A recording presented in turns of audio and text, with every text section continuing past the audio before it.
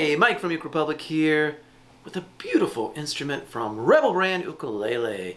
This is called the Creme Brulee, and I'd love to share with you what goes into it. So, with Rebel, they've got this cool name for these uh, instruments. This one is called the Creme Brulee. There's also a double cream, and basically what that means is the Creme brulee or the double cream is talking about the mango one. Now, this one is uh, not double thickness. This one's actually about an inch or so uh, leaner than their usual um, concert. But what that does is it makes for a very comfortable holding position. Still has fantastic projection coming out of this.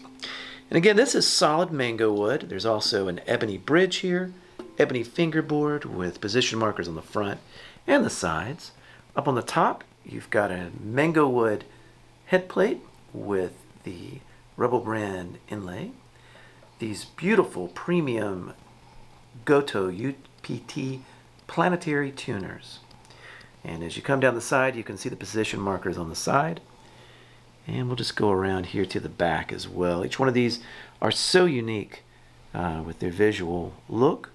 And uh, you can also see where the neck just flawlessly flows to the body. Great attention to detail and a really robust, full sounding instrument. Comes with a nice thick deluxe padded gig bag as well. And you can find out more about Rebel Brand Ukuleles at your favorite place for ukuleles, ukerepublic.com. Thank you so much for watching. Down to the Uke Republic. I went there yesterday. I saw some ukuleles that I just had to play. Down to the Uke Republic.